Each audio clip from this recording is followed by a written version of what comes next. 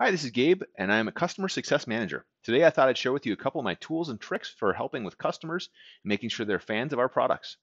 Number one, successful onboarding starts with your sales process. You want to make sure that you set the right expectations from your sales team to your customer success or implementation team. A lot of times, friction can happen here. So, the first thing you want to do when meeting with customers as you're starting your implementation process is have detailed questions and let them give you lots of comments on what they expect is also you setting expectations on what's going to happen with your product. After implementation and successful onboarding, it's very important to gain knowledge on your customers and how they felt about the both the onboarding process and your product. I'm a big proponent of lots of feedback. I like to ask my customers for feedback both through surveys, emails, and on the phone whenever I talk to them or in person. Uh, never be scared of feedback. It's always going to be how, what's going to make you better as a customer success manager. Now, I do like to use some tools to watch what my customers are doing whenever possible. Uh, there are lots of customer success platforms that will help you see uh, seat activity, health, uh, NPS scoring, as well as actual click-through activity on your customers. I like to utilize these whenever possible to see how my customers are actually doing in the products that I'm representing. And then there's the, the unfortunate uh, factor of churn that can happen with your customers.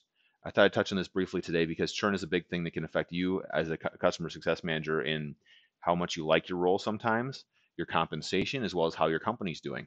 Uh, a lot of the factors that affect churn can be what I already suggested. So the successful onboarding and implementation, uh, customer feedback, as well as a combination of seat activity, NPS score, and health.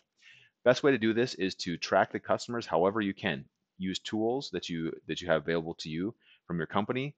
Uh, build out tools. There's a lot of free suites and one of the biggest thing, as you can see I'm on video today, is I love using video to con connect with my customers.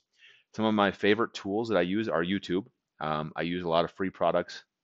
I use OBS Studio uh, a lot of the time. It's an open source platform. That's what I'm recording this on today.